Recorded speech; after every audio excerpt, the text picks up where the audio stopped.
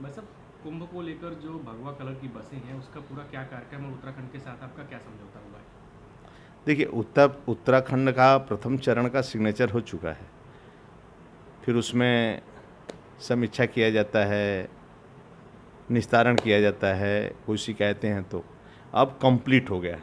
यानी उनके राज्य में मेरी बसें जाएगी और उत्तराखंड की बसें हमारे राज्य में आएँगी।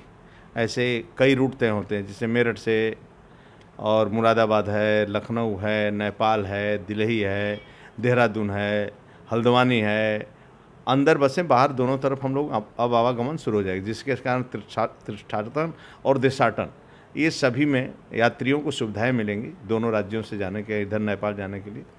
इसलिए एक महत्वपूर्ण योजना है माननीय योगी जी के नेतृत्व में, और उत्तराखंड के मुख्यमंत्री लोकप्रिय त्रिवेंद्र जी रावत के नेतृत्व में इसका शुभारंभ उनतीस तारीख को होने जा रहा है और ये उत्तर प्रदेश राज्य के लिए और उत्तराखंड राज्य के लिए एक अच्छा संदेश है, जिसके कारण यातायात में लोगों को इसका लाभ भी मिलेगा, यात्रियों को सुविधा भी मिलेगा, यात्रा सुगम होगा, सुरक्षित होगा।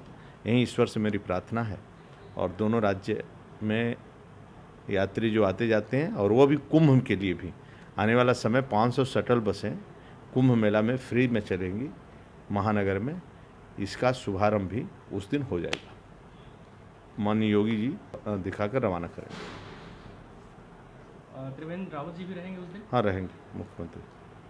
सभी मुख्यमंत्री दोनों मुख्यमंत्रियों की उपस्थिति में ये कुंभ मेला के लिए जो बसें चल रही उसको हरी झंडी रवाना किया तो उनतीस तारीख को कितनी बसों को हरी झंडी दिखाएँगे? इक्यावन बसें उस दिन चालू हो रही हैं इक्यावन बसें और पाँच सौ बसों का लक्ष्य।